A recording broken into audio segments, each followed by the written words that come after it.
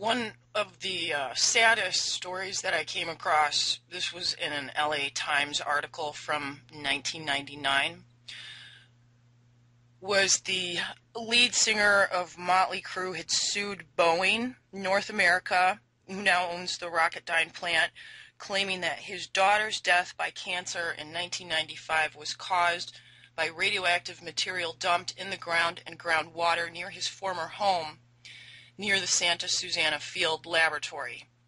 Vince Neil and his ex-wife, Sharise, bought a home in Chatsworth in 1991, a few miles east of Boeing's division. Boeing acquired the property in 1996 when it bought Rockwell International's aerospace and defense business. The suit claimed that Boeing, Rockwell, and Rocketdyne knowingly dumped hazardous materials such as plutonium and uranium near the Neil Summit Ridge Circle residence southeast of Simi Valley. Their four-year-old daughter, Skylar, was diagnosed with a rare form of stomach cancer in April 1995 and died four months later. The suit claims that her death came as a direct result of the activities conducted by defendants. His Beverly Hills attorney, David Cordry, said the singer only recently learned about toxic contamination at the Santa Susana Field Laboratory after a Rocketdyne worker health study was released by UCLA researchers in April. April of what year? April of 2000 and I'm sorry, 1999. Yeah, it was before um, Dr. Busby did his work there. And if he had had um, Dr. Busby on on his lawsuit, or if he'd been able to join Busby's law, the the lawsuit that Busby was involved in, he would have won.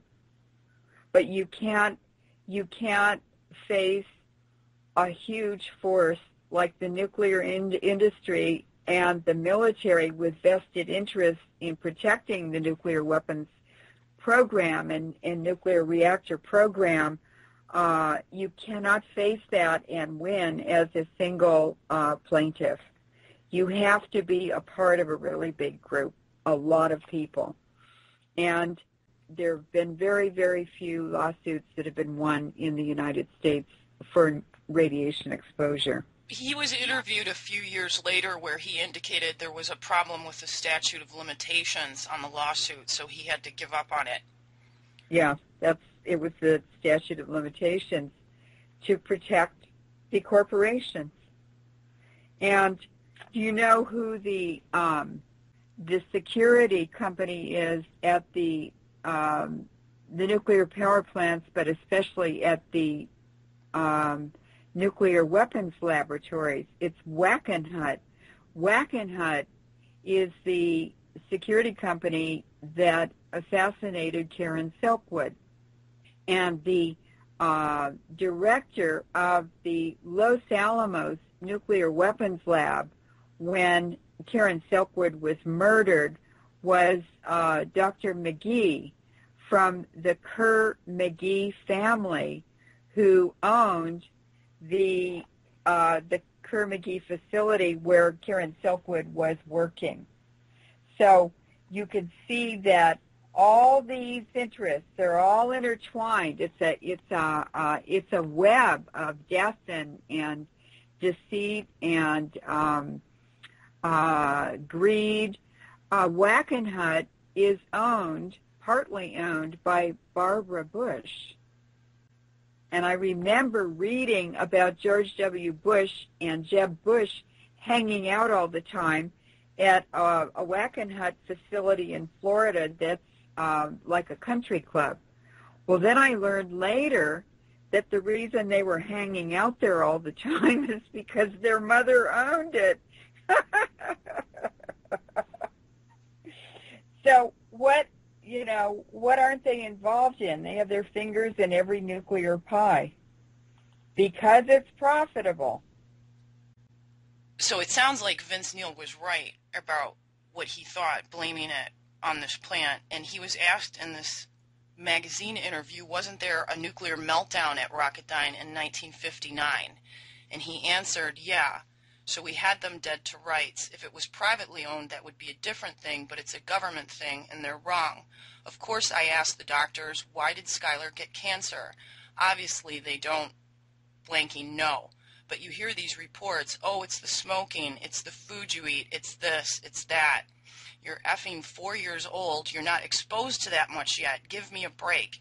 It's weird because she went through six operations and they actually cut the cancer out of her. It weighed like four pounds. You only weigh 30 pounds when you're four. It's like most of your body. They took me down to pathology. They actually showed me her cancer. I was like, I've got to see what's killing my daughter. It looked like evil. It was black. That's what pure evil looks like, and that's what was on that effing table. There were lots of people that lived there and got out. I sued not only the government, but the developers that sold the house and developed the community. Obviously, they effing knew. You've got to disclose that. If you've got to disclose if there's effing ghosts in your house, you've got to disclose that you're living in a crap neighborhood, even though it was multi million dollar homes. He goes on to say it's like the NASA space program. It's run by Boeing, who now owns Rocketdyne, but Boeing is contracted through the U.S. government to run the tests. They said they cleaned up that basin down there. They said they took out like a foot of dirt, then sealed it and carted it away. But it's been there since the effing 50s. It's not a foot down, it's 40 and 50 feet down. You can't fight City Hall. There's another a hole of the fucking month. Oops. There's there's another a-hole of the effing month, the U.S. government. I wish you'd leave that in. I can leave it in. Hey, that's real life. That's what how people feel about this stuff. What can we do? We, we... Well, they they should feel that way. Uh, let me tell you what um, Merril Eisenbud said at a AEC Atomic uh, Energy Commission meeting in New York City. This was in the in the 50s. Uh, he said this was discussing um, the nuclear bomb tests and in uh, let's see uh, Bikini Atoll and the, the, the ones in the Pacific. And he said, well, um, these Pacific Islanders are not exactly like us. They're more like the mice.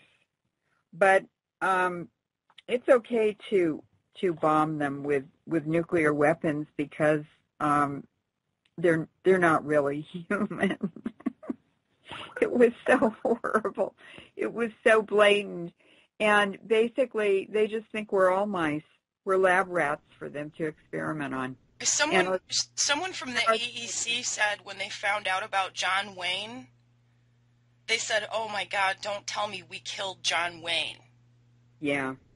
Because they knew they had detonated eleven tests there the year before they filmed this movie on the site.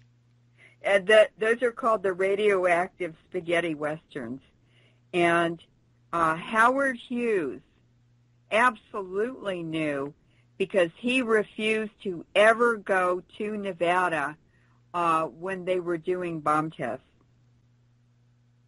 He absolutely refused to go to Nevada. He wouldn't go anywhere near the bomb tests. He knew.